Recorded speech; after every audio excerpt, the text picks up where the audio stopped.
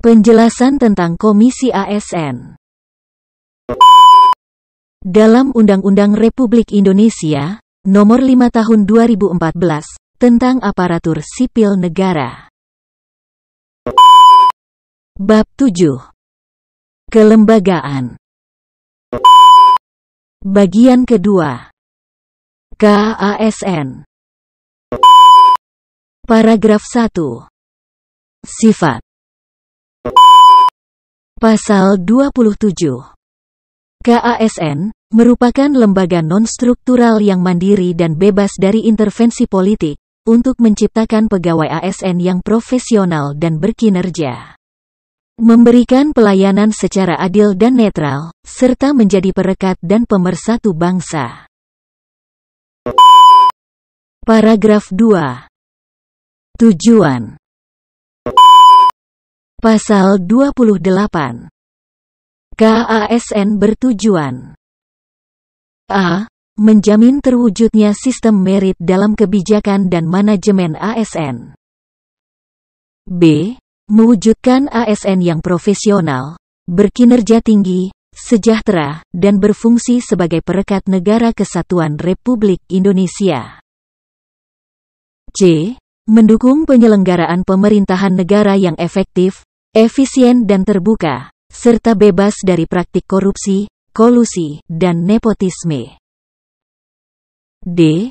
Mewujudkan pegawai ASN yang netral dan tidak membedakan masyarakat yang dilayani berdasarkan suku, agama, ras, dan golongan. E. Menjamin terbentuknya profesi ASN yang dihormati pegawainya dan masyarakat. Dan F mewujudkan ASN yang dinamis dan berbudaya pencapaian kinerja. Paragraf 3. Kedudukan Pasal 29 KASN berkedudukan di ibu kota negara. Paragraf 4. Fungsi Pasal 30 KASN berfungsi mengawasi pelaksanaan norma dasar, kode etik dan kode perilaku ASN. Serta penerapan sistem merit dalam kebijakan dan manajemen ASN pada instansi pemerintah. Paragraf 5. Tugas Pasal 31 Ayat 1 KASN bertugas A. Menjaga netralitas pegawai ASN. B. Melakukan pengawasan atas pembinaan profesi ASN. Dan C. Melaporkan pengawasan dan evaluasi pelaksanaan kebijakan manajemen ASN kepada Presiden.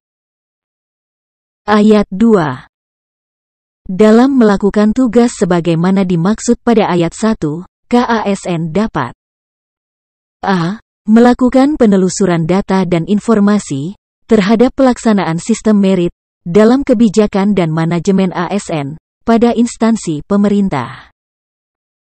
B. Melakukan pengawasan terhadap pelaksanaan fungsi pegawai ASN sebagai pemersatu bangsa. C. Menerima laporan terhadap pelanggaran norma dasar, serta kode etik dan kode perilaku pegawai ASN. D. Melakukan penelusuran data dan informasi atas prakarsa sendiri terhadap dugaan pelanggaran norma dasar serta kode etik dan kode perilaku pegawai ASN. Dan E. Melakukan upaya pencegahan pelanggaran norma dasar serta kode etik dan kode perilaku pegawai ASN. Paragraf 6. Wewenang Pasal 32 Ayat 1 KASN berwenang A. Mengawasi setiap tahapan proses pengisian jabatan pimpinan tinggi. Mulai dari pembentukan panitia seleksi instansi, pengumuman lowongan, pelaksanaan seleksi, pengusulan nama calon, penetapan, dan pelantikan pejabat pimpinan tinggi. B. Mengawasi, dan mengevaluasi penerapan asas, nilai dasar serta kode etik dan kode perilaku pegawai ASN. C. Meminta informasi dari pegawai ASN dan masyarakat mengenai laporan pelanggaran norma dasar, serta kode etik dan kode perilaku pegawai ASN. D. Memeriksa dokumen terkait pelanggaran norma dasar, serta kode etik dan kode perilaku pegawai ASN. Dan E. Meminta klarifikasi dan atau dokumen yang diperlukan dari instansi pemerintah untuk pemeriksaan laporan atas pelanggaran norma dasar, serta kode etik dan kode perilaku pegawai ASN. Ayat 2 Dalam melakukan pengawasan sebagaimana dimaksud pada ayat 1 huruf B, KASN berwenang untuk memutuskan adanya pelanggaran kode etik dan kode perilaku pegawai ASN. Ayat 3 Hasil pengawasan, sebagaimana dimaksud pada ayat 1 huruf A dan huruf B, disampaikan kepada pejabat pembina kepegawaian, dan pejabat yang berwenang untuk wajib ditindaklanjuti. Pasal 33 Ayat 1 Berdasarkan hasil pengawasan yang tidak ditindaklanjuti, sebagaimana dimaksud dalam pasal 32 ayat 3. KASN merekomendasikan kepada Presiden untuk menjatuhkan sanksi terhadap pejabat pembina kepegawaian dan pejabat yang berwenang yang melanggar prinsip sistem merit dan ketentuan peraturan perundang-undangan. Ayat 2 Sanksi sebagaimana dimaksud pada ayat 1 berupa A. Peringatan B. Teguran. C. Perbaikan, pencabutan, pembatalan, penerbitan keputusan, dan garing atau pengembalian pembayaran. D. Hukuman disiplin untuk pejabat yang berwenang, sesuai dengan ketentuan peraturan perundang-undangan. Dan E. Sanksi untuk pejabat pembina kepegawaian, sesuai dengan ketentuan peraturan perundang-undangan. Ayat 3 Sanksi, sebagaimana dimaksud pada ayat 2, dilakukan oleh A. Presiden selaku pemegang kekuasaan tertinggi pembinaan ASN, terhadap keputusan yang ditetapkan oleh pejabat pembina kepegawaian. B. Menteri terhadap keputusan yang ditetapkan oleh pejabat yang berwenang, dan terhadap pejabat pembina kepegawaian di tingkat provinsi dan kabupaten kota. Pasal 34 KASN melaporkan pelaksanaan fungsi, tugas, dan wewenangnya, termasuk yang berkaitan dengan kebijakan dan kinerja ASN, paling kurang satu kali pada akhir tahun kepada Presiden. Paragraf 7 Susunan. Pasal 35 Ayat 1 KASN terdiri atas A. Satu orang ketua merangkap anggota B. Satu orang wakil ketua merangkap anggota dan C. Lima orang anggota Ayat 2 Dalam hal ketua KASN berhalangan, wakil ketua KASN menjalankan tugas dan wewenang ketua KASN. Pasal 36 Ayat 1 KASN, dalam melaksanakan tugas dan wewenangnya, dibantu oleh asisten dan pejabat fungsional keahlian yang dibutuhkan. Penjelasan Yang dimaksud dengan pejabat fungsional keahlian, antara lain, auditor kepegawaian, peneliti, perancang perundang-undangan, dan analis kebijakan. Ayat 2 Asisten KASN, sebagaimana dimaksud pada ayat 1, diangkat dan diberhentikan oleh Ketua KASN berdasarkan persetujuan rapat anggota KASN. Ayat 3 Asisten KASN, sebagaimana dimaksud pada ayat 1, dapat berasal dari PNS maupun non-PNS yang memiliki kualifikasi akademik paling rendah strata 2 di bidang administrasi negara, manajemen publik, manajemen sumber daya manusia, psikologi, kebijakan publik, ilmu hukum, ilmu pemerintahan, dan garing atau strata 2 di bidang lain yang berkaitan dengan manajemen sumber daya manusia. Ayat 4. Asisten KASN, sebagaimana dimaksud pada ayat 1, tidak sedang menjadi anggota, dan garing atau pengurus partai politik, tidak merangkap jabatan. Serta diseleksi secara terbuka dan kompetitif, dengan memperhatikan rekam jejak, kompetensi, netralitas, dan integritas moral. Ayat 5 Asisten KASN, sebagaimana dimaksud pada ayat 1, memiliki dan melaksanakan nilai dasar, kode etik dan kode perilaku, serta diawasi oleh anggota KASN. Ayat 6 Ketentuan lebih lanjut mengenai syarat, tata cara pengangkatan dan pemberhentian, kode etik dan kode perilaku dan pengawasan terhadap tugas dan tanggung jawab asisten KASN, diatur dengan peraturan KASN. Pasal 37 Ayat 1 KASN, dibantu oleh sekretariat, yang dipimpin oleh seorang kepala sekretariat. Ayat 2 Kepala sekretariat, berasal dari PNS. Ayat 3 Kepala Sekretariat, diangkat dan diberhentikan oleh Ketua KASN. Ayat 4 KASN, dibiayai oleh anggaran pendapatan dan belanja negara. Paragraf 8 Keanggotaan Pasal 38 Ayat 1 Anggota KASN terdiri dari unsur pemerintah dan garing atau non-pemerintah. Ayat 2. Anggota KASN harus memenuhi persyaratan sebagai berikut. A. Warga negara Indonesia. B. Setia dan taat kepada Pancasila dan Undang-Undang Dasar Negara Republik Indonesia tahun 1945.